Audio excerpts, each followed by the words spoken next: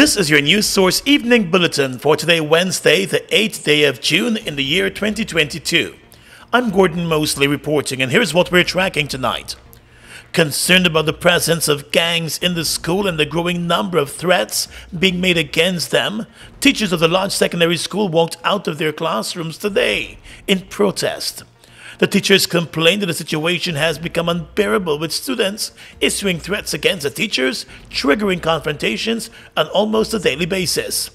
With regard to the presence of gangs in the school, the teachers said the situation has resulted in fights and brawls between students in and out of the school compound and has even resulted in students from other schools entering the schoolyard to confront other students. Teachers have also come under attack. The teachers said they have had enough and they would like the Ministry of Education and the Guyana Teachers Union to immediately look into their concerns and the situation that they are facing daily at the Lodge secondary school here in Georgetown. Pulling knives on students and taking away the monies. That's the experience of the grade 7 students. And parents are coming, they're frustrated, or go to the welfare, welfare oh, are aware. Yeah, You parents are you need a speaking out. consistent welfare check. That's Yeah. what We- we we need. can do that. Police presence. that Um, who would actually listen. Heavy duty Who would police listen. presence. Because if the people coming with the weapons, the police got to come with their own too. Yeah. closed classroom that is not being used. They take out come the in doors. and they kick these doors, they break open the doors and they go into the rooms, right? And they take refugee there. From the time I step out from the office, well, you know it's will come in my direction, right? It's brick and wood and the desk leg and so on. They start shining in my direction so I can't go further, right? Now our children, when they see those things happening now, they run and they come forward in front. And so if you gotta hold anybody or you're meeting with our children who's in front and so there is nothing you can do Following their walkout today, the General Secretary of the Guyana Teachers Union, Coretta McDonald, visited the school and said the situation is worrying and cannot be ignored. police come here. By the time the police pull up here with their vehicles and i don't know why the police pulling up with their vehicles. They're being called on several occasions. They turn up with the, with the regular vehicle that everybody know. By the time the, the students get the message the police coming the students gone. Students and other persons. And so we have to safeguard our teachers. We have to safeguard our students. And so i think one of the things or maybe three of the things that we can do right now is one start looking at that fence behind there and putting up a guard hut behind there The union official, who is also an opposition member of parliament, said there may now be the need for a regular police patrol and increased security at a large secondary school to address the problem that has been worsening over the past few weeks. We have regular police patrol. We have proper security in front here so that we can do checks every day when they come, check their bags every day. Nobody is supposed, and I think we might have to reinforce the guard that we have there. Because if you have a female guard there, she can't man what is happening there. So we might very well need two guards there. And, and persons who are fit and proper, let me use those words. Because it's not going to make sense. You have somebody there and they can't manage the students. And teachers have complained that their calls and complaints to the Ministry of Education have resulted in more questions and answers being provided by ministry officials. The GTU General Secretary said the Education Department needs to take every complaint seriously about the threats being made against teachers and other students by gang members at the school. our welfare presence that's another one. And then we have to have ready assistance coming from the department. We can't always ask for oh where is the report? And where is the report? And where is the the mere fact that i'm calling you to complain or to make a report that this is happening, it should gain your attention. You see, what we're having here now should never have happened if we were taking the steps when we were getting the calls. Education Ministry officials were at the school today to listen to the concerns of the teachers with a promise of making moves to address those concerns. Many of the teachers said it is a daily challenge to work at the school in face of the threats that are being made against them. This said even the parents of many of the students have refused to visit the school to understand the challenges being faced by the teachers. More news coming up in just a moment. How fast is fiber? Think fast. GTT Fiber has three packages with download speeds of 50, 100, and 150 megabits per second. That's fast enough to stream movies and music, to chat with Gran and Fran, to study, and more What would you do? Upgrade to GTT Fiber today and don't get left behind tomorrow. Doors and windows, Republic. rooms and more. Republic. A brand new rug on the floor. Come to Republic, come to Republic. Whatever you need, you got it. Come to and get your mortgage. 95 to 100% financing, 50% waiver of negotiation fees, plus one lucky person gets their mortgage paid in full. Turn some day into today. Talk to Republic Bank about your low cost mortgage today.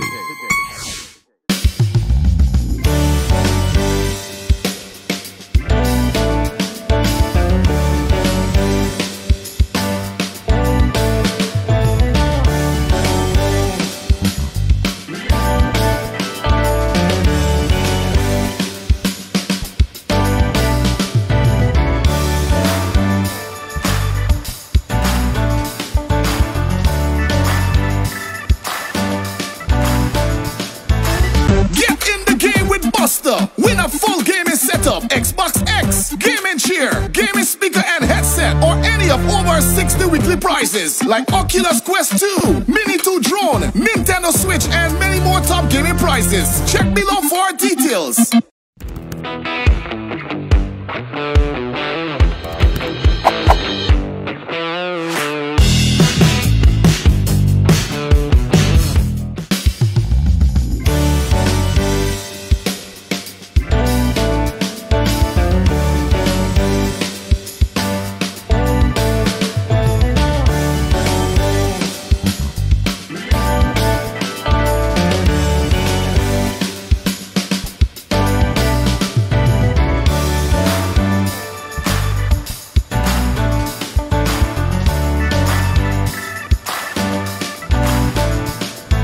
Let's tell you now that a post-mortem examination was this morning carried out on the remains of construction worker Reynold Williams and determined that a 50-year-old died from multiple injuries to the body due to a motor vehicle accident. The decomposed remains were found yesterday along a deserted and bushy dam just off the railway embankment at Coldingen on the east coast of the Demerara. The discovery came two weeks after Williams went missing, after he was hit down by a speeding car and removed from the scene by the driver. The driver has since been identified as Daniel Melbourne, who investigators say has admitted to dumping the man's body after hitting him down and removing the body from the scene of the accident. Melbourne remains in custody pending charges. In a statement today, the Guyana Police Force said the probe is ongoing, and upon the completion of the investigations, a file will be submitted to the Office of the Director of Public Prosecutions for advice. The Guyana Police Force also indicated today that samples from the remains will be sent overseas for DNA testing, along with samples from the relatives. DNA testing is being done to fully confirm the dead man's identity. Police investigators were led to the scene where the man's body was dumped by the driver of the car that was involved in the accident. The driver, Daniel Melbourne, was identified by a friend of the dead man who was walking close to him when he was hit down by the car. Investigators were told that after Williams was hit down, the driver picked up his body, placed it in the trunk, and claimed that he was taking him to the hospital. Williams was never taken to any hospital. His family and friends picketed and protested over the past two weeks, seeking information about the whereabouts of his body. On Tuesday, investigators got a breakthrough in the case after the driver was rearrested and identified the area where the body was dumped. The investigation is ongoing tonight. Investigators from the Customs Anti-Narcotics Unit, CANU, have arrested a 23-year-old woman who attempted to ship a small package of cocaine in a box of Hindu religious items. The bust was made at the DHL headquarters. The suspect has been identified as Lisa Ramnarine of Hague on the west coast of Demerara. She is a well-known star on TikTok. The bust took place on Tuesday as the agents noticed a hidden compartment within one of the religious items known as a kunda. Further examination of the item found a concealed package of cocaine hidden in a religious ornament. CANU investigators were able to track down the suspect using the address that she provided as the sender of the package. The total weight of the cocaine was 540 grams. Investigations are ongoing and charges are likely soon. Leader of the opposition, Aubrey Norton, has confirmed that court documents will be filed this week to challenge the president's recent appointments of the Police Service Commission and the Integrity Commission.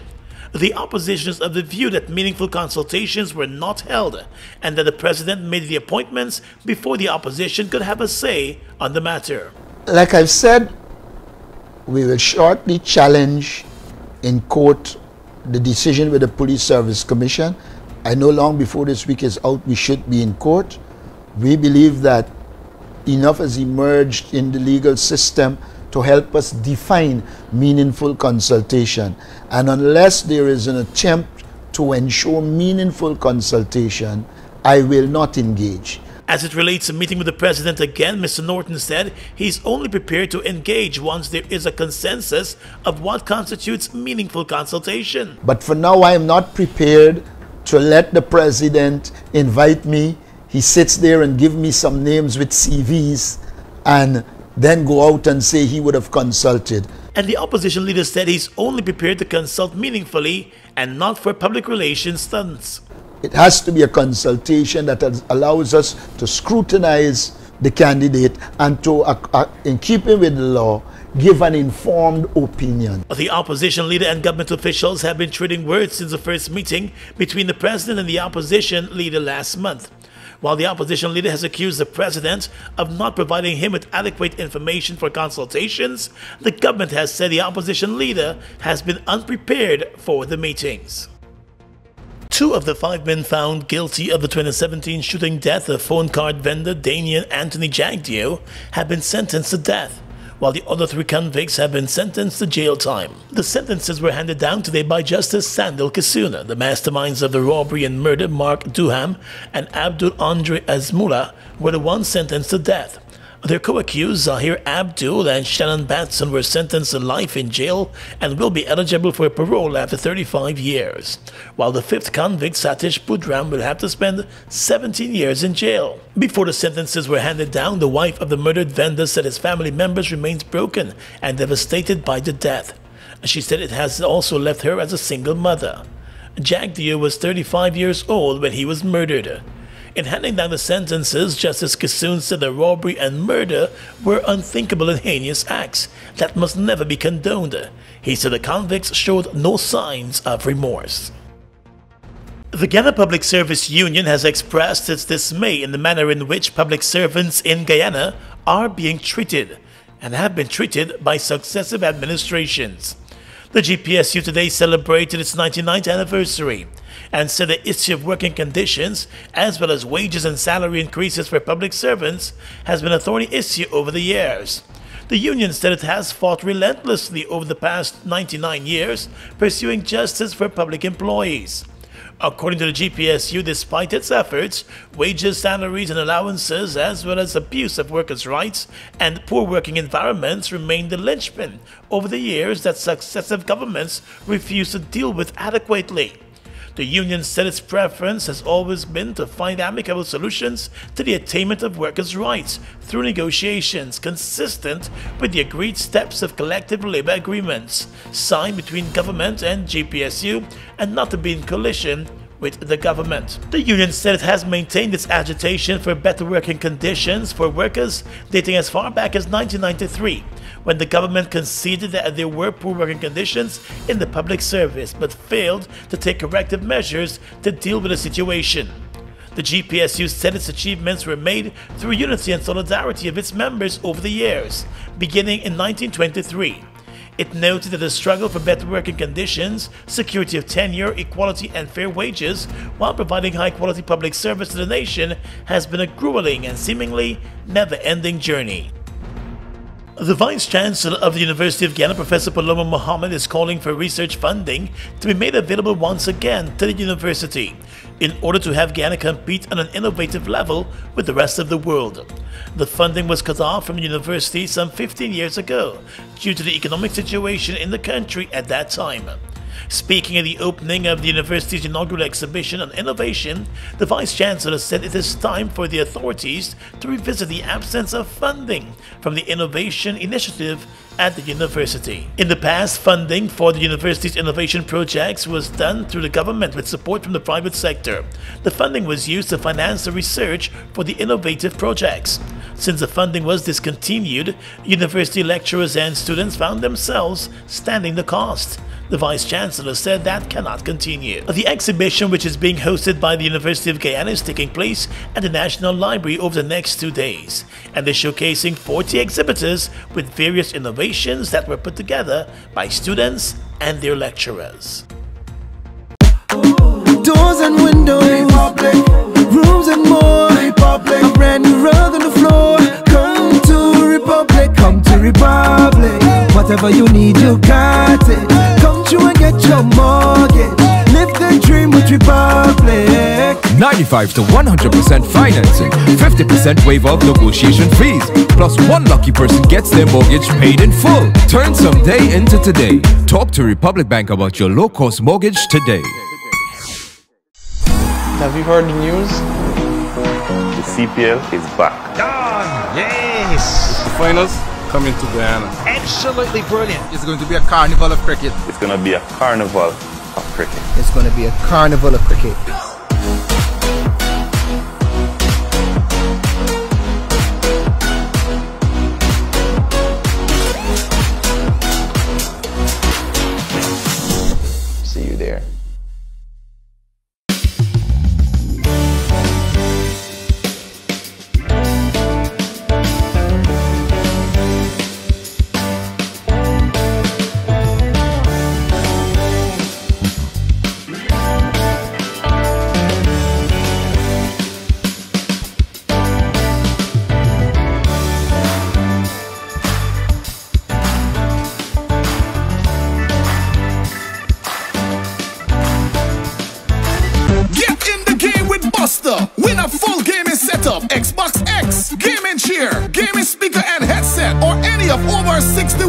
Prizes like Oculus Quest 2, Mini 2 drone, Nintendo Switch, and many more top gaming prizes. Check below for details. Fuel it up and drive, Super 95.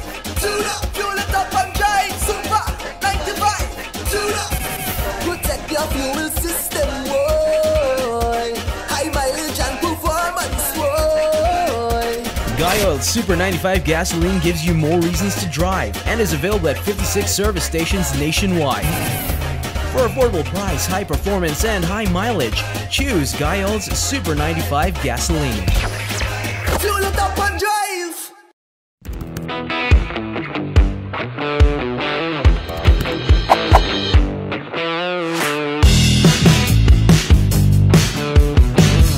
Across the region tonight, the British Virgin Islands announced Wednesday that it has avoided direct rule by the United Kingdom for now, after its premier was recently arrested on cocaine charges and an unrelated report found widespread corruption in the overseas territory. Governor John Rankin said the agreement to retain local governance was reached with United Kingdom officials who traveled to the Caribbean territory last month to talk about the report's findings and the arrest of the Premier Andrew Fahie in Florida in late April. The corruption inquiry that began in January of 2021 and whose results were released a day after Fahie was arrested recommended that officials suspend the British territory's constitution and locally elected parliamentary government for at least two years. But Rankins said that will not happen, as long as the local government meets several conditions. He said locally elected officials will implement dozens of other recommendations in the report, adding that government agencies will be required to provide monthly updates and that he will offer quarterly updates to UK officials for the next two years. If that fails to happen, the local parliament could be suspended and direct UK rule implemented, among other things, the official said. In Latin America, thousands of migrants are headed to the US Mexican border in a caravan timed to coincide with a meeting of Western Hemisphere leaders in Los Angeles. Some 6,000 people, including many from Venezuela and Central America, have begun walking from the southern tip of Mexico north as part of a caravan. Migration is among the top issues on the agenda at the Summit of the Americas. The caravan may be one of the largest in recent years. On Monday, the group began its 1,270 mile journey to the U.S. from the Mexican city of Tapachula, near the border with Guatemala. It is unclear when they will arrive at the northern frontier. The group's organizers say it is made up of people who are fleeing instability, violence, and poverty in their home countries. And finally, tonight, international news. Former German Chancellor Angela Merkel has defended her record on handling Vladimir Putin in her first major interview since leaving office. She said she had nothing to apologize for over her response to Russia's annexation of Crimea from Ukraine in 2014 when she supported sanctions. She also defended her opposition in office to Ukraine joining NATO. Mrs. Merkel has been accused of leaving Germany vulnerable by pursuing business led relations with Russia. The Nord Stream 2 pipeline to carry Russian natural gas directly to Germany was built while she was Chancellor and only suspended by her successor, Chancellor Olaf Scholz, shortly before Russia invaded Ukraine on the 24th of February.